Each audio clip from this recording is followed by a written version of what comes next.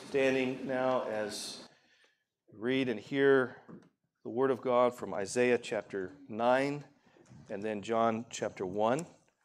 Isaiah 9 and John chapter 1. We're reading verses 6 to 7 of Isaiah 9. Hear now God's holy, inspired, infallible, and inerrant word.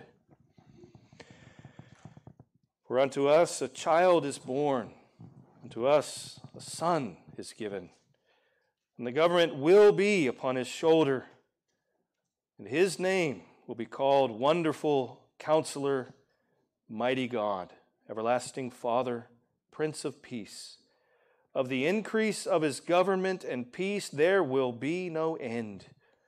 Upon the throne of David and over his kingdom to order it and establish it with judgment and justice from that time forward, even forever. The zeal of the Lord of hosts will perform this. Turn now to John chapter 1. Be reading verses 14 to 18.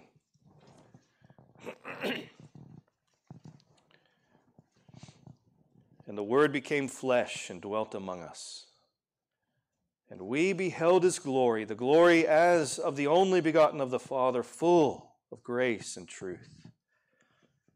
John bore witness of him and cried out, saying, This was he of whom I said, He who comes after me is prefer- preferred before me, for he was before me.